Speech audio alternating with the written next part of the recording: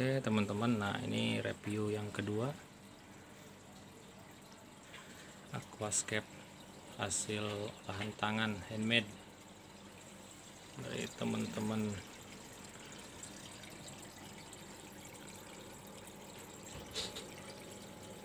Nah seperti ini filternya.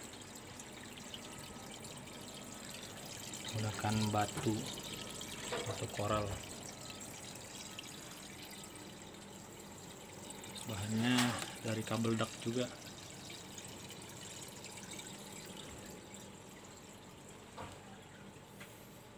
Nah jenis ikannya ada lemon.